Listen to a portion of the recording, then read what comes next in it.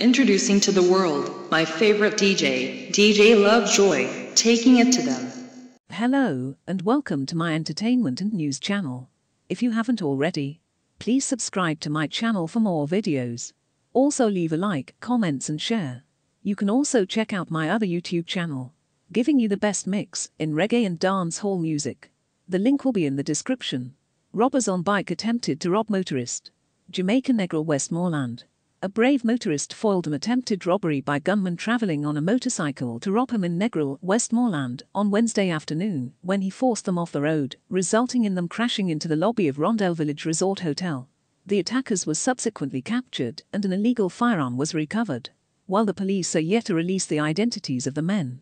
One of the men is a Clarendon resident, while the other is from Red Ground, on the outskirts of Negril.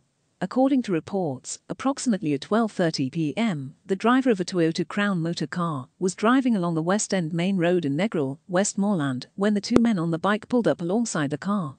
The passenger rider brandished a handgun. The motorist defied their orders to pull over and swung the car into the path of the speeding bike, sending it crashing into the lobby of Rondel Village Resort. Residents assisted the police in capturing one of the men who tried to escape.